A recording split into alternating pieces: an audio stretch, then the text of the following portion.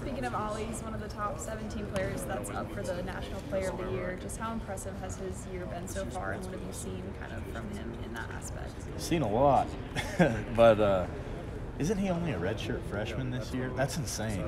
Uh, it's it's awesome watching him being able to come in and do that, and I'm excited we at least get him around for hopefully more than one more year. But uh, it's just it's crazy watching him develop because I remember uh, they were doing the renovations in the old locker room, and we were all over in the visitors locker room, and he's over there just being typical right out of high school kid, goofing around.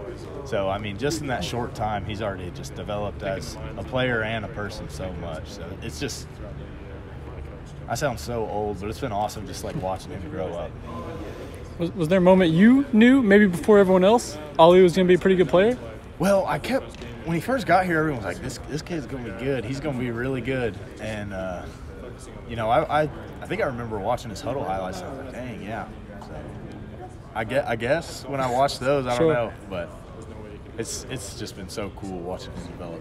How's he been this week? He hasn't had much to, you know, be, be frustrated about for, for six weeks now. H- How's he been this? Has, has he changed much?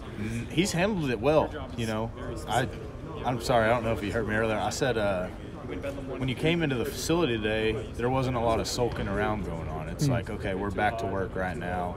Nothing, nothing to worry about. Just got to keep playing ball. Yeah. And uh, it wasn't anything that really needed to be said. Just that was the energy in the locker room. How different is that from a year ago? That's a big loss at Kansas